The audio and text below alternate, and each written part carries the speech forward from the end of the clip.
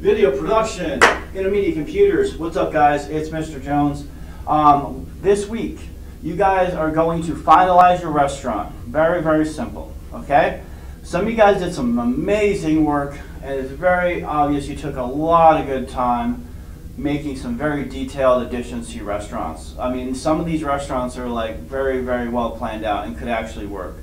So, we're going to wrap it up this week.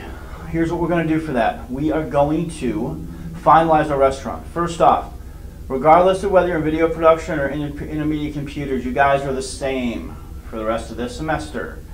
Um, you have made VP or IC notes. If you're in video production, I've told you to make VP notes, correct? And in there, you're going to reshare that with me.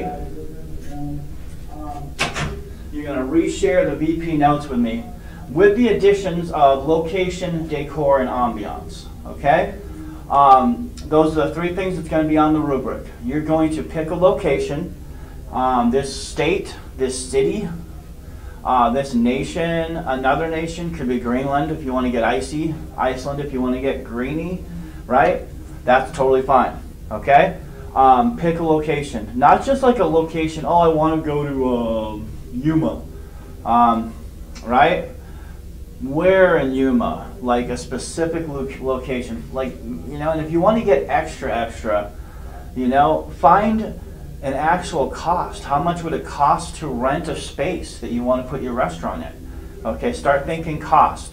Do you need to actually call up somebody and say, hey, I'm doing a project uh, and I need to find out what the cost would be to rent a space over there, right? Um, you don't have to do that, but if you do that and get a quote, I would love to hear what that is, okay? Um, this is for people who really, really want to make a restaurant. Okay, next order of business is decor, okay? Some of you guys have kind of started this already, but how would you decorate your walls? What style tables, the colors? Would you be playing music in the background? Would you not? You know, it's totally up to you. Okay? Um, and then ambiance, that kind of leads into ambiance. What kind of, imagine like a theme or tone you want to have in your restaurant. Okay? How, and all these things here, location, decor, ambiance, are three things you're going to add to the end of your VP slash IC notes.